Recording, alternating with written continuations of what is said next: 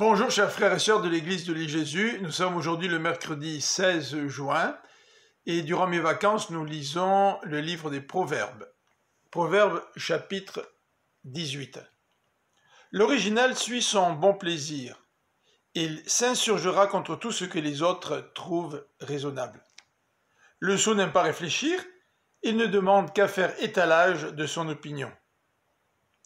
Le méchant amène avec lui le mépris, une action déshonorante est suivie de la honte publique.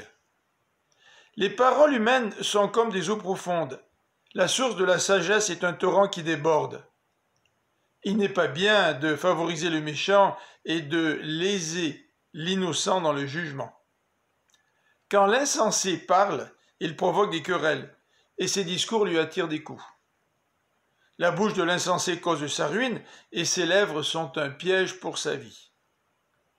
Les médisances sont comme des friandises, elles pénètrent jusqu'au tréfonds de l'être.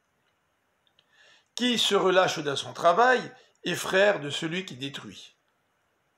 L'Éternel est comme un donjon bien fortifié, le juste est à court, et il y est en sécurité.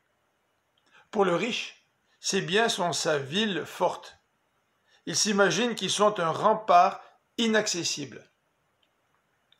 Quand l'orgueil remplit le cœur d'un homme, sa ruine est proche. Avant d'être honoré, il faut savoir être humble. Qui répond avant d'avoir écouté, manifeste sa sottise et se court de confusion. Un bon moral permet de supporter la maladie, mais si le moral est abattu, qui le relèvera? L'homme intelligent acquiert la connaissance, et l'oreille des sages est tendue vers elle. Les cadeaux ouvrent les chemins et font arriver jusqu'en présence des gens importants. Celui qui plaide sa cause en premier paraît toujours avoir raison. Vient la partie adverse et l'on examine ce qu'il a dit. Le sort met fin aux contestations et tranche même entre des puissants.